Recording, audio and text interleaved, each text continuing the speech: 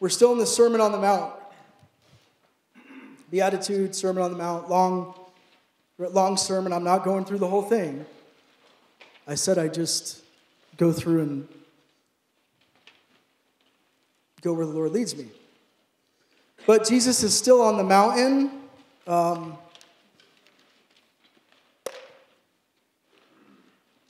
he's gone through the teaching, if you remember, the law and the prophets of, of how, how the law is truly fulfilled by getting to the motives of it, right? And that's what I'm skipping over. You can go back and read it for yourself, but it's not about murdering, it's about the motive that happened before murdering, right? It's not about the it's about what happens before the the act of adultery because it already happened in your heart, those kinds of things. So he goes through that just dealing with the heart of the law for these Jewish Christians mainly. He warns about hypocrisy. Hypocrisy in, in, in fasting and giving and, and, and praying in order to be seen in chapter 6. Then he teaches the famous Lord's Prayer that we all know, which was never meant to be a rote, you say the Lord's Prayer and you prayed right today, you got a blessing. Um, it was meant to give an example of we pray in this way, and then you look at the aspects of it, and we could do a whole breakdown of that. Uh, it'll tie into today's message. So we're in chapter 6 now. And around verse 19, Jesus begins to warn against the danger of riches and materialism and greed. And that's because back then, with the, with the Jews, the, the religious, they had a similar problem to what we have today. They would use religion to get prosperity and riches and wealth. They would manipulate that somehow to make themselves profit off of it. Nothing wrong with wealth per se. It's not condemned by Jesus, but it's condemned when it becomes our master. Because we cannot serve God, and there's that famous verse you can't serve God and mammon. So, through all these, these teachings, what Jesus is doing is getting our focus off of the physical and onto the spiritual. The spiritual is most important. The spiritual is most important. The physical will not last. The entire system that we live in is constantly, the world system is constantly vying, pulling for our attention.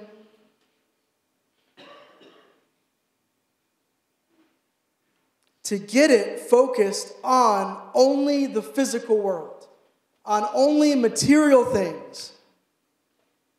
So, materialism.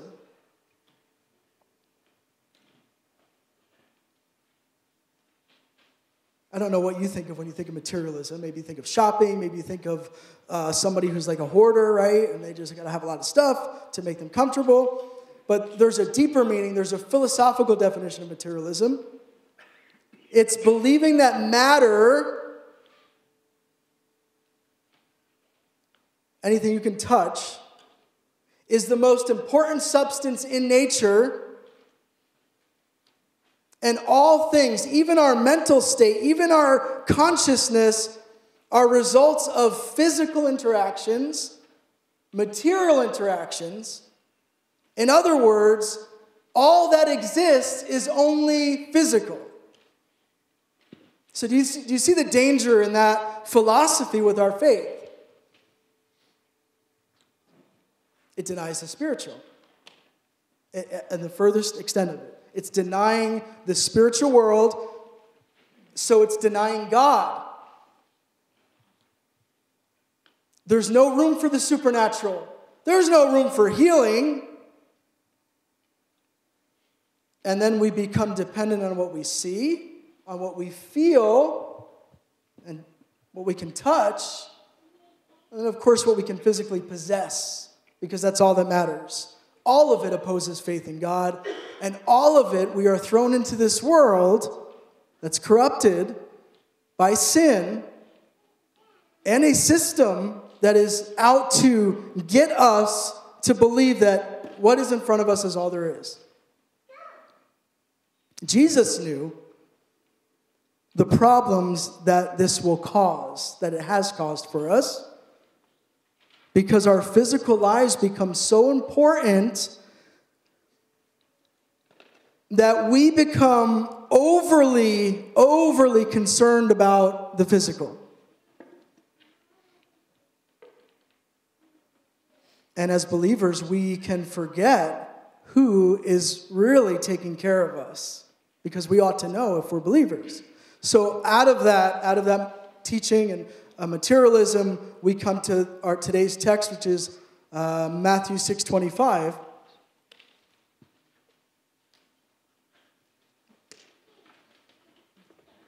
Here we go.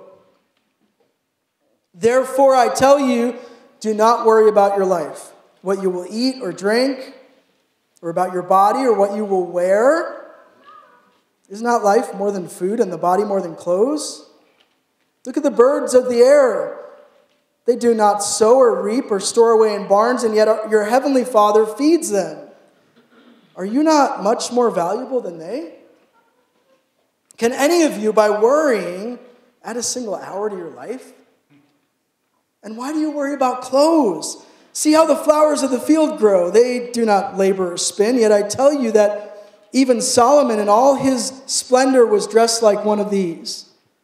If that is how God clothes the grass of the field, which is here tomorrow, here today and gone tomorrow, or thrown into the fire, will he not much more clothe you, you of little faith?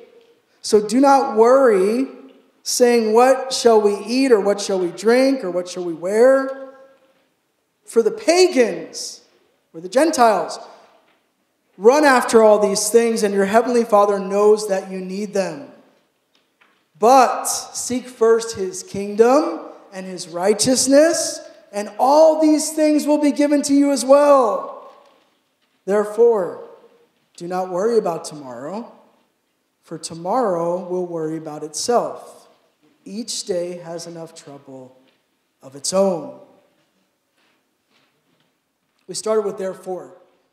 So, out of that therefore, what, or some of your translations say, for this reason I say to you, that means that what is about to be said is a conclusion of what Jesus was just talking about. So, since you cannot serve God and money, followers of Jesus Christ should not be absorbed with concerns for material things. Got that? But we should trust God for what we need. The right way to view all of our possessions as believers means that we recognize Jesus as master.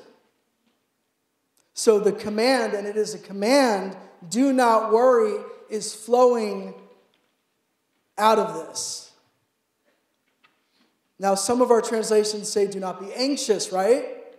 Now, I understand the meaning of that, but I'm, I'm using the word worry this morning, and out of a translation that uses worry, because of the connotations, the associations we have in our 2024 society with the term anxiety or anxiousness. And I'll explain. Let's start by defining worry or anxiousness in, in this context. Well, first, I'll tell you what it's not biblically. Worry in, in, this, in this section of Scripture, worry is not an anxiety disorder. It's not a mental or a chemical misregulation. We live in a fallen world corrupted by sin.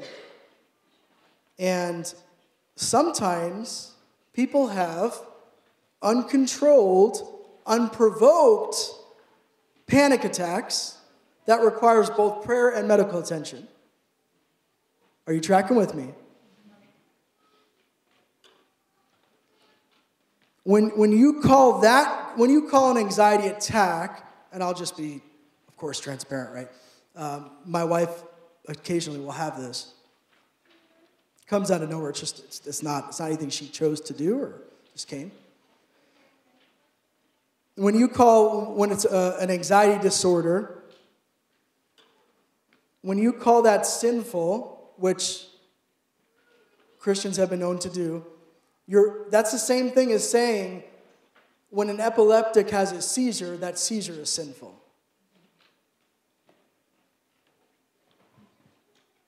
And the reason I'm bringing this up is that's for those of us, me included, who were once falsely taught in our Christian lives that every time you have anxiety or depression or these things, it is a sin somehow. We have to just, if we're interpreting the Bible and we're reading in context, that's, that's false. It's a lie. But there's that verse that says anything that's not of faith is sin. If you're going to quote that verse, go back and tell me the context. What is Paul talking about? Food sacrificed to idols and things that violate your conscience. If it's violating your conviction, I think it's bad to eat non kosher, drink non kosher water. I just violated my conscience. If I, I, can't, I can't do that in faith, that, that's a sin to me. So those are, it's little things that we, t- we mess up in Christianity. And then your friend has an anxiety attack, and it's a real one, right? And you're like, oh, well, you're, you're, you're living in sin. And your friend's like, what? I didn't, I didn't want this. It just came. I don't even know where it came from. So this is not that kind of anxiety. And many of us will say, well, anxiety is overdiagnosed today, overprescribed. Okay. Everything's just over everything right now. The world is just, we're reaching a point where it's all increasing. So What else is not this kind of anxiety? Oh, caused by distress or suffering. When you have distress or suffering, you're going to have some kind of reaction. I, I, God made us that way. Perhaps just to turn to Him if it's for that reason. If you think you're not going to go through any anxiety when you're, you know, being attacked or anything like that, um, and you think that's a sin, that's, that's, that's a mistake also. It's part of life. I use Job as an example, Jeremiah, uh, Nehemiah, David. You read the writings of David, and if I had a DSM whatever for diagnosis manual, this guy would have a lot of mental issues.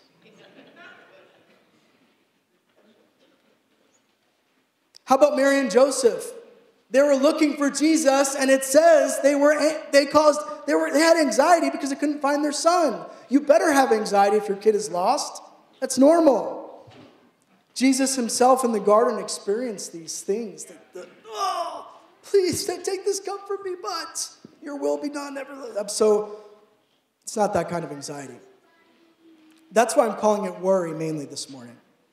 And this is uh, the uh, merimna in the Greek, and it means to take thought from a, a root word meaning a care that brings disruption to the personality and mind. Now, the key there is I said it is a care, it's something that you cared about that caused a disruption to your personality and mind. Literally translated, it means to be drawn in different directions in your mind. So, worrying like this, what Jesus is talking about, it's something that we willingly choose to enter into. We take the thought and we turn away from trusting God. Okay, worrying for what? What are we worrying about? Well, Jesus tells us this is the context.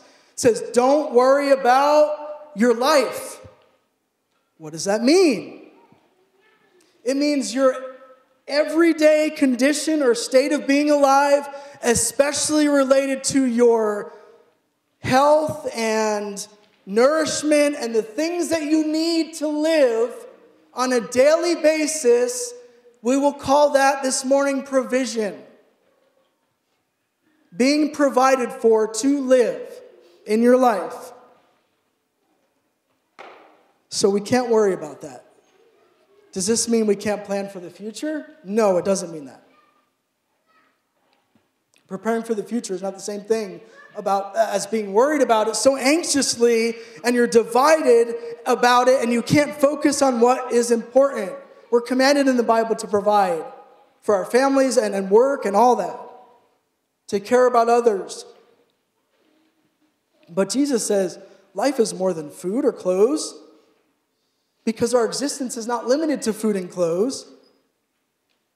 God gave us life. Do you think that He's not going to provide for us? Worrying about running out of whatever or not having enough, our basic needs is forsaking trusting God when you worry about that stuff. That's starting with what Jesus is saying. And in our Western world, in America, we have worry as a plague. And you cannot medicate away worry. You can't even diagnose this kind of worry. This is something that has to be dealt with with a relationship with Jesus Christ. And we live in one of the most food consuming, clothes buying, societies in the world. As far as hunger, we are not going to be on the list of the most hungry, hungriest places on earth. We're so unimportant to hunger, they just blocked us out up there. Because we're like, well, not America, but these guys, yeah, they got hunger problems. Now, I know there's people truly hungry, okay? I know that. I'm being sensitive. I, I get calls every week.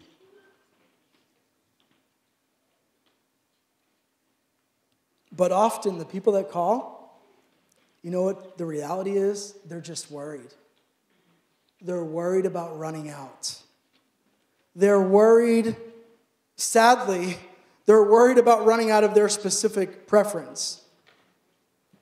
You know, the creamy chicken ramen noodles, not the beef one. I prefer creamy chicken, but that's me. And my goal in, is not, oh, yeah, well, let me, you must be really hungry. I, I want to I wanna address that worry and that panic issue and introduce them to Jesus, God, their provider, so they can understand this. So. Now, there, there are people who are legitimately starving, even in America, but few of us looking around the room have legitimately, uh, I'm not calling you overweight okay? Chill out. What, who has actually um, experienced the crisis of actually starving for weeks and weeks to the point where you're worrying about if you're going to die or not because you haven't eaten? But we do know what we can all relate to. We know what it's like to worry about running out of stuff, don't we? And, and we can fall into worrying need, needlessly. And we saw the epitome of this back in 2020, didn't we? You remember that? Have mercy, life is more than toilet paper. And if you run out, God has provided leaves in abundance.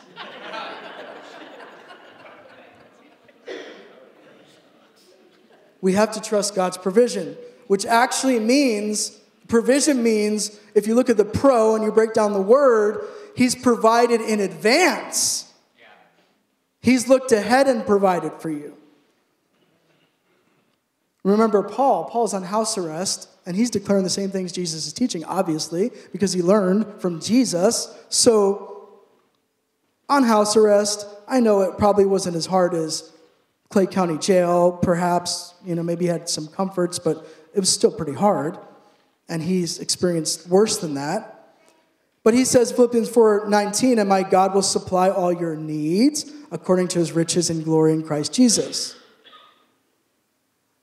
Next, Jesus goes into using nature as an example, and he says, Look at the birds.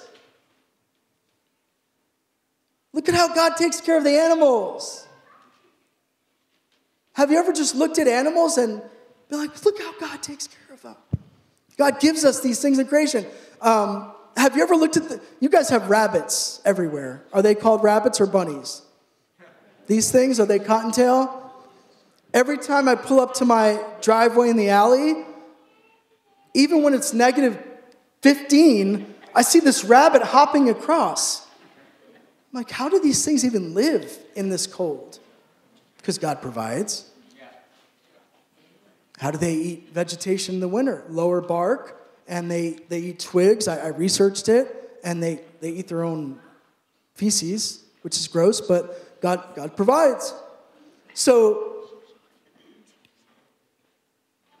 they're not freaking out, wondering where their, their meal is going to come from. Neither are the birds. Now, they still have to work to go get it, but it's there, and God's going to provide. And aren't we more, worth more than the animals? We forget how much value we have as human beings. The word for worth or value, in whatever translation you're using, it means to be superior. So human life is superior to animals. Superior. God values us.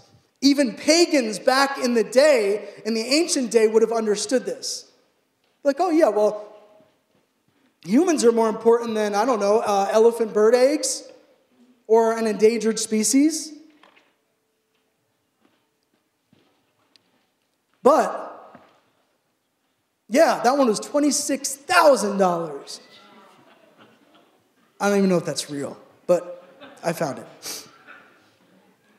But we live in such an ungodly culture, a rare, whatever that egg was, or uh, you know, these sea turtle eggs, the endangered ones, they're, they're of more value than a human embryo. We value endangered species more. We'll protect that life, but not what God values most of all, and that's human life. Human life is most valued by God. And you could call that a pro life statement. I have no problem with that. It's it's a Bible statement. We have to value humans. Your life, He cares about you more than you can imagine. He loves you. He died for it. He didn't die for the bunnies. If he takes care of these animals, it's an assault on his nature and character to worry about him not meeting your most basic needs. Later on in Matthew 10 29, it says, But even the hairs on your head are counted. So don't fear, you're more valuable than a great number of sparrows. And then we get that great hymn off of that, right? So why do we worry then? Why? Why? Why? Why? What's the purpose of it? Jesus answers that question. It does nothing. Absolutely nothing. It actually hurts us. It grieves God. Jesus says in 627, Can any of you, by worrying, add an hour to your life? Now, some of your translations say cubit or inch, but it, it's talking about lifespan, time. Can worrying make us live longer?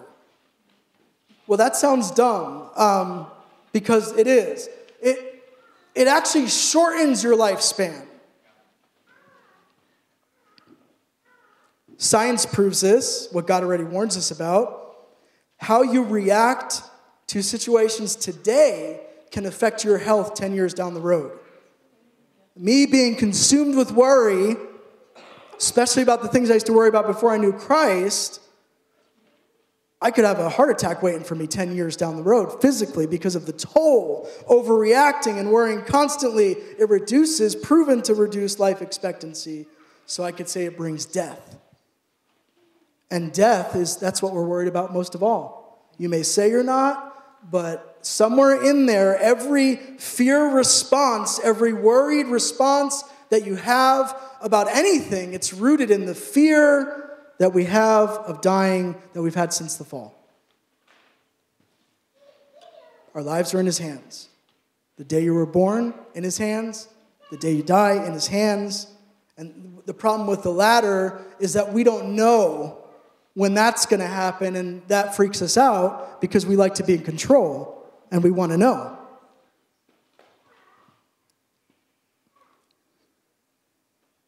Worrying about it does nothing. Worry changes nothing. Trusting God changes everything. Verse 28, Jesus goes back to the nature illustration. Again. This time he says, Why are you worried about clothing?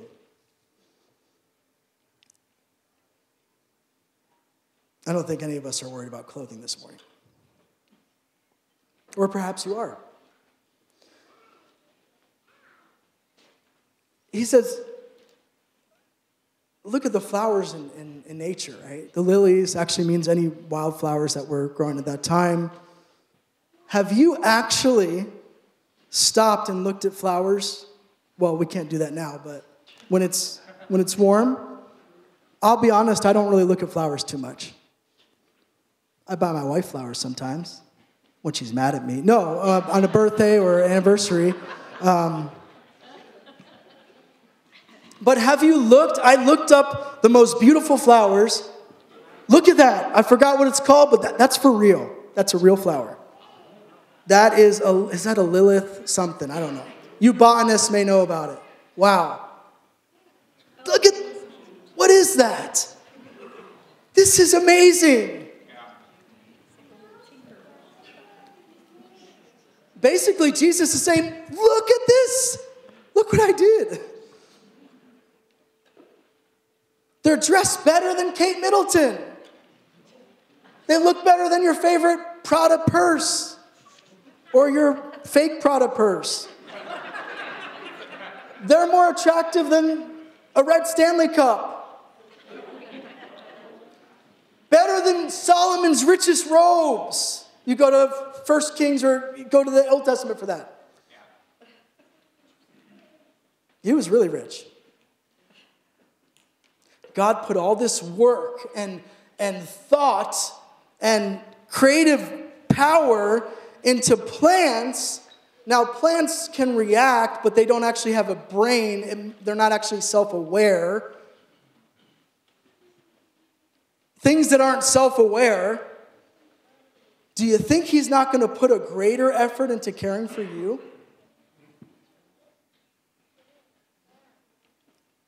when he does so for something that's destroyed the next day, in, in many cases, burning up grass, using that example. So now Matthew 6.30, and we're going right through to get to the, the climax, but Jesus says, you of little faith. How many of you, we've, we've heard this before. So this phrase that Jesus is using, keep in mind, when he uses it in other places also, he's using it at times when the disciples are doubting God's ability to take care of them. That is what that is meaning there. Uh, Matthew 8 26, 14 31, 16 8. That is what these faith rebukes are about. When we say little and we put it with faith, it's doubting his ability or his authority. It's not that this measuring thing where you just had a little bit like this. No, it's that you're not trusting in His a lot. You're not trusting in His complete power. 631, Jesus is getting close to the end of this section because he goes into judging right after this. I don't know how the sermon was broken up. I know he was sitting up there on a mountain. Uh, he probably, maybe he took a break. I don't know. He's Jesus. He does he need a break? I well, whatever. But there are sections, and he says in 631 do not worry about these things. What things? Physical, life, your whole life, needs, provision. And he says, Gentiles, Gentiles eagerly seek these things. Non Jewish people or pagans. So pagans seek after these things. So people who are not converted, not saved, are occupied all the time in their minds because they're not kingdom minded. And we are not supposed to worry like that anymore in Christ. Stuff, even our most basic needs and being cared for, being taken care of, cannot be the thing that we seek the most. The world, when they see that, when they see you not stocking up on a mass amount of toilet paper, they're going to think you're strange, that you're not panicking. I was at Walmart yesterday. They're like, they're out of fruit right now for some reason. They're out of a lot of things. I came home and told Megan, I'm like, what's happening? Is I'm, I did not watch the news this week, so is, is there another COVID thing going on? Because Walmart's out of stuff. But I didn't freak out because my kids wanted blueberries. I just got them raspberries. It's not a big deal. Um, the world is going to think you're crazy that you're not. Why are you not freaking out right now? Why are you not worried about what's about to happen? That's what the Bible says. They're going to think it's strange or they're going to be surprised that you no longer live for those desires anymore of what used to control you when you spent your whole life in, in, in worry. 1 Peter 4 3, for the time already past is sufficient for you to have carried out the desire of the Gentiles, having pursued a course of indecent behavior, lust, drunkenness, carousing, drinking parties, and wanton idolatries. In all this, they're surprised that you do not run with them in the same excess. And that includes the idol of worry and running after the material things of this world. Because uh, as an unbeliever, you're living by your own resources, you're living in your own strength, you're doing things on your own because, in a sense, you are on your own. But in Christ, we have God's resources all the time. We have His care, we have His providence, we have a God who loves us. Pagans do not trust in God, but themselves. And until recently, I, I thought about the term seeker friendly church, right? That, that term seekers are coming in here. I don't agree with that. It depends on what it means. Because when, I, when, when you're not a believer, you are not seeking after the things of God. Because you don't know the things of God. You become a seeker when you get to know God. So if you call them seeker, like, well, I'm seeking the meaning of life, I'll, I'll go with that, but they're seeking after anything else. And the Bible actually proves that because no one seeks after God, the Bible says, Romans 3:10, there's no righteous person, not even one. There is no one who understands, there is no one who seeks out God. But seeking changes when we come to Jesus, doesn't it? Your appetites, your desires. So, verse 33 of Matthew 6, here it is. It's the climax, and some will call this the most important verse of the entire Sermon on the Mount. This discourse, remember, we have five, and this is just the first one. In verse 33, we have the cure. So, if you're worried this morning about something, this is the cure. Matthew 6:33. But seek first his kingdom and his righteousness, and all these things will be given to you as well, or added to you. Let's break it down. Seek first. Let's deal with the first because that's very important. First does not mean uh, chronological. First doesn't mean, okay, I'm going to seek the kingdom first, and then second, I'm going to seek after food, and then third, I'm going to seek after clothes. If you translate first, it is make it your priority more than anything else. It's not chronological, it's value, it's priority. It's the thing you should most want in your heart the kingdom. What is the kingdom? His dominion, his rule and reign, his work and purpose, his will and his glory. It connects to the Lord's Prayer earlier in this chapter. It says, Matthew 6:10, "Your kingdom come, your will be done on earth as it is in heaven." That's why that prayer is important because it's getting our priorities right. We're seeking the kingdom. If seeking the, his kingdom is our priority and what we're above all striving for, then all other striving in your life is going to cease or the volume's going to be turned down because you know those needs are going to be taken care of in your life. It means participating in his kingdom while you're on earth in an effort to bring others to Christ. Glorifying him in our concerns, not de- denying him by our worrying all the time. He will take care of everything you really need. Hmm. When we worry about, when we worry about God taking care of us, I don't know. I'll think like a parent. It's like, it's like my six year old refusing to come down for dinner because he's worried about dinner not being on the table. I mean, that sounds ridiculous to me, right? Like he knows, he just trusts me, he knows I'm gonna come down, dinner's gonna be there. He's not upstairs. Is he gonna feed me tonight? I don't know. I I mean, he, he said he would, but I'm not sure. I, I can't trust him. And think about it. If my six year old told me that, my heart, I mean, it happened with my 13 year old the other day, because she, she's not in here, right?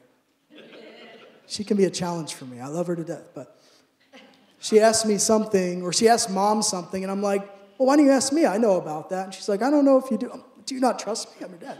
And it hurt. I was offended. I should be offended. That's my daughter. I want her to trust me in everything. Certain things I want her to ask her mom because I don't want to go there. But it would hurt. Imagine how God feels when he sees you thinking that,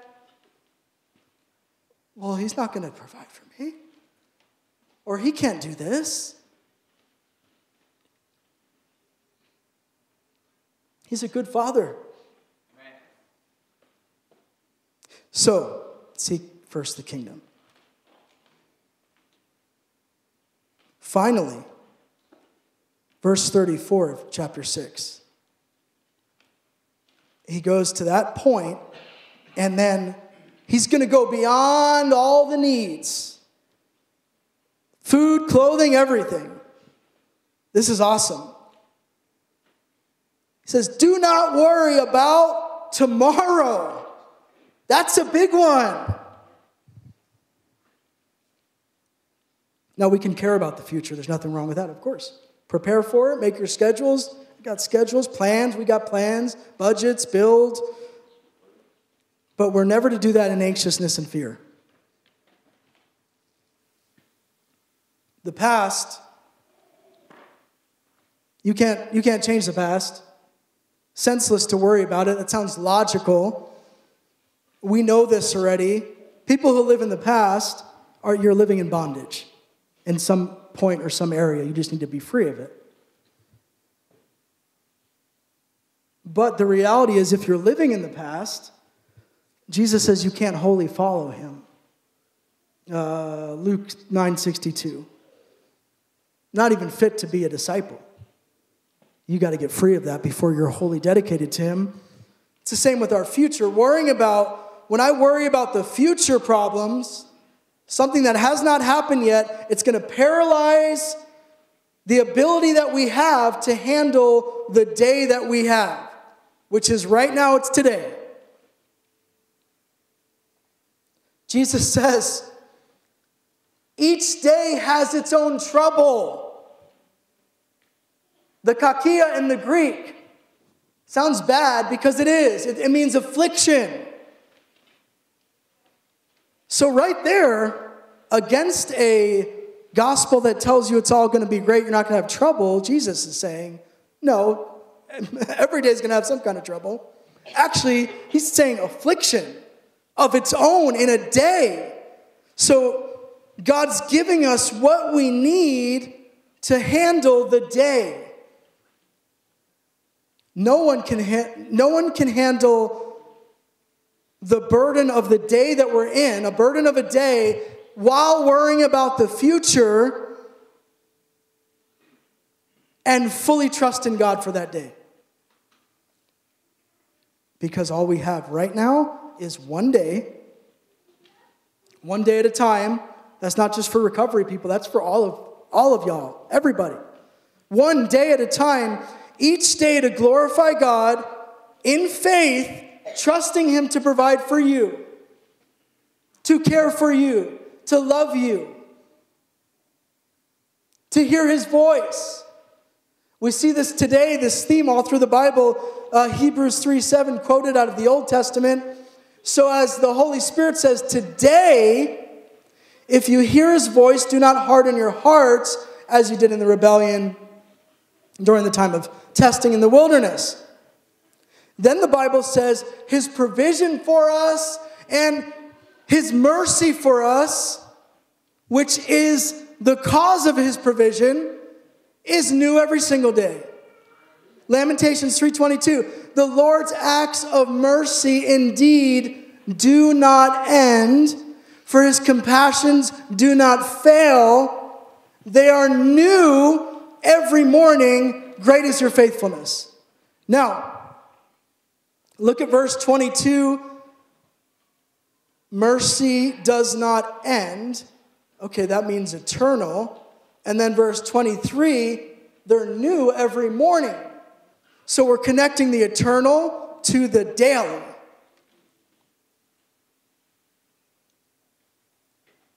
Every day, we have His, because of His mercy, the opportunity to glorify God with our lives. And part of how you glorify God is you trust Him.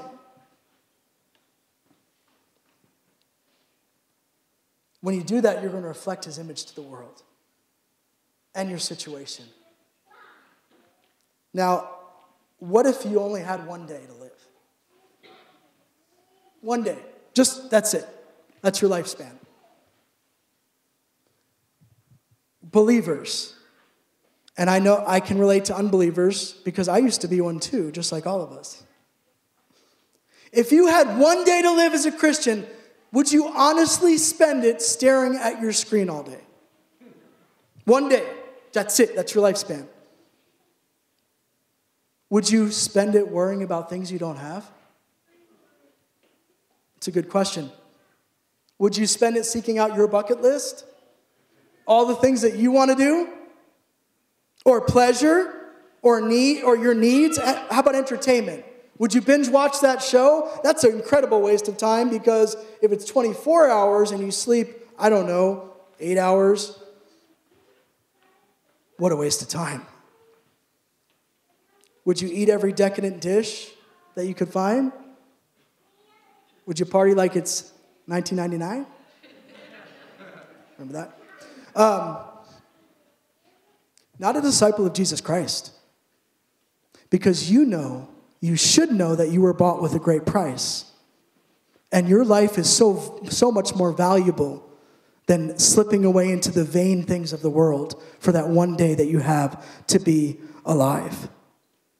So I believe that everyone, if you know Jesus, you would seek what you can do in that span of time for the glory of God every hour, every minute. The people to reach. That should be our desire. And that would be visible to everyone in that one day that we had to live. There's a there's another flower that I found in creation that kind of exemplifies this. Every single day, this flower does this. It's called the morning glory. Some of you know about it. I didn't know about it until I studied about it. Each flower, and the time lapse will run as I'm speaking, each of these flowers that you see up there, it only lives for one day. That's it. It blooms in that day, actually, I think it's a few hours, it displays the glory it's supposed to, and then it dies. A new flower comes, and you'll see it if you're paying attention. That one withered and died, and then there comes another one. So if you catch one open, you're blessed, and that's a special thing because you're seeing a flower that you're only going to see for that day. The next day, it's going to be an entirely different flower. That's all. There's no tomorrow for it, for that flower. It's not going to exist. There's going to be a whole nother new one. All morning glories do for their entire life in a day is reflect the glory of God, showing His design, His, his providence, the, the beauty of the color and all this. If you think flowers evolved from something, that's insane. God just like, I'm going to dress you like that, and you're just like that. It's awesome. Now, considering that, a flower with a, a lifespan of just hours, he put all that purpose into that. Do you think that he does not have purpose for you in your life every single day? You won't know if you're wasting it worrying about what you have or what you don't have or what may not ever be. You have to trust Him for today. And then when tomorrow comes, you trust Him for tomorrow. You can't force yourself to already trust Him tomorrow. It just doesn't work that way. There is glory in every single day that we're given.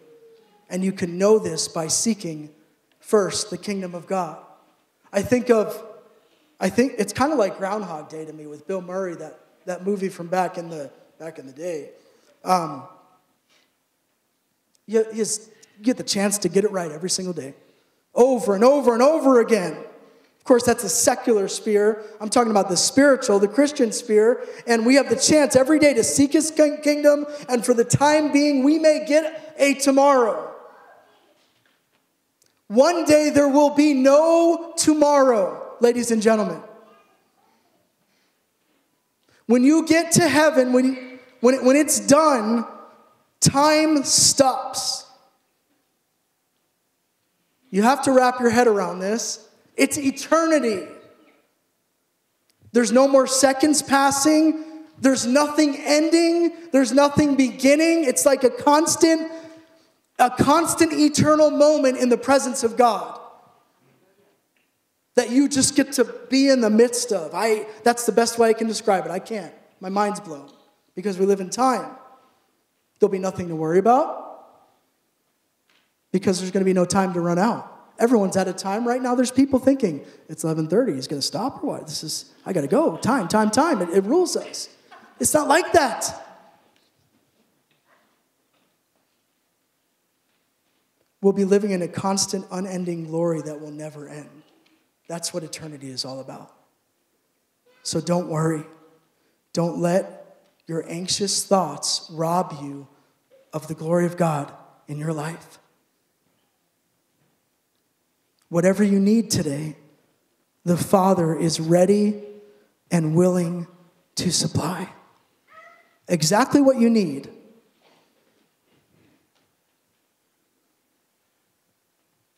Do you trust Him for that? Have you been worried about something? Would you close your eyes this morning?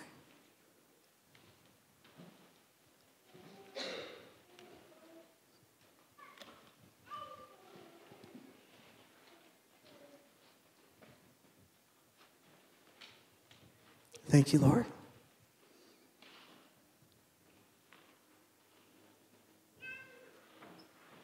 Holy Spirit. Father, I pray as you're touching hearts this morning. I pray for fears, Lord, for anxious thoughts, by the authority, God, of, of your spirit, of your power, God, that we would recognize that and submit, God, realizing that you are taking care of every need in this place. Future, provision, providence, purpose. Thank you, Lord. Healing. Anything that a good father would give his children is provided for because of what Jesus did for you. And this morning, you are simply here for Jesus to tell you, do not worry. So, in your mind, in your heart, that's your job to do, is lean in and seek the kingdom and see how you can glorify God today. So, Father, we give our hearts to you this morning. We ask you, Lord, forgive us for the areas where we've gone overboard, where we've lost control in our thoughts, when all the time we should be trusting you. Help us, God, as finite humans, to think in eternal terms and enter into that eternity already, Lord, realizing that our purpose is just to glorify you. God, I pray for new purpose, for new strength in people who are plagued by worry this morning. Fear of death in Jesus' name, fear of loss, sadness, grief, whatever it is, finances. We pray for your provision, Lord, and we trust you. In Jesus' name. And all God's people said, Amen. Amen. Listen, if you have a, we're going to dismiss because the kids' services are here. We want to, we want to, sometimes it's not easy to do what we're talking about. So we're going to stay up here and pray. Some of the prayer team, please just come up because there's people who still need prayer up here. We want to pray and agree with you here and uh, pray for your mind and for those things to be released. Everyone else, you're dismissed. Have a good day. We'll stay up here and pray for you.